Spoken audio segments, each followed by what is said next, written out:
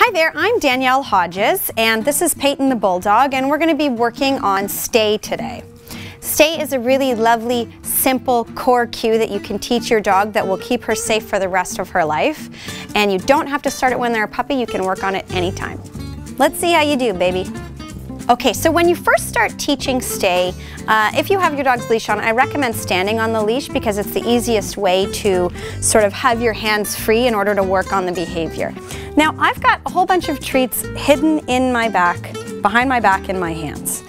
I'm going to teach Peyton that as long as she keeps sitting there, I'm going to keep reinforcing her.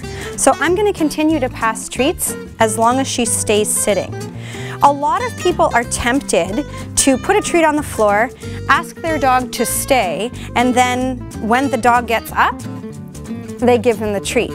But I don't want my dog to do that. I want my dog to understand that as long as she keeps sitting, she's gonna keep getting reinforced. So I'm gonna release her now because I can see she wants to pop up. So all done. Oh, she doesn't want to pop up, so that's good, we'll keep going. When you're working on a stay, it's really important to pass the treats right to the dog's mouth so that they don't need to reach in order to grab the treat.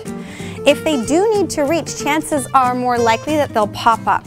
So in the beginning, keep your stays nice and short. And when you're all done, you say, all done, and release them.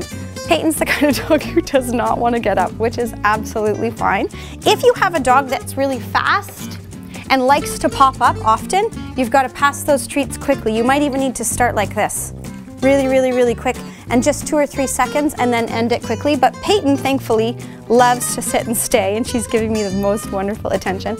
So I'm going to continue to reinforce her.